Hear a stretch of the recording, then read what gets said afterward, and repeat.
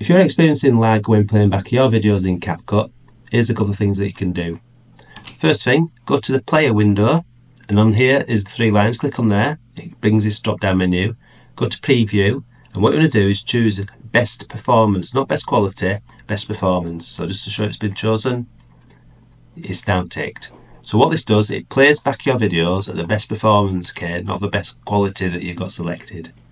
So that'll help. Another thing you can do is what you need to do is deselect anything in the timeline. So if you look up here at the minute, it's showing the um, effects and stuff that you can do to this clip here. So by deselecting, click anywhere on the timeline other than the assets that you've got and it deselects. Now we've got the details menu. So what we do is go down to modify and then in this menu we need to click on the performance tab and then what we do is we click on the proxy and then we drop down this menu and what we've got is a couple of values. What we want to do is choose the lowest value.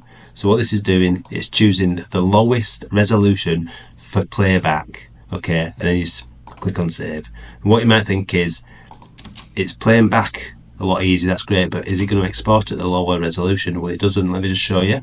If you go to export and then in export if you look here the resolution is 1080p uh, or whatever you want to choose it doesn't do it at the low resolution it's only for playback that you're changing that resolution. So if you're looking to learn more about editing effective videos and reaching new audiences then our comprehensive interactive workshop a beginner's guide to video editing is for you. Remember members of our video creators club get 50% off this workshop. And if you want to learn about what videos to make, how to make them, and how to get them seen, then consider being a member of our Video Creators Club. Follow the links.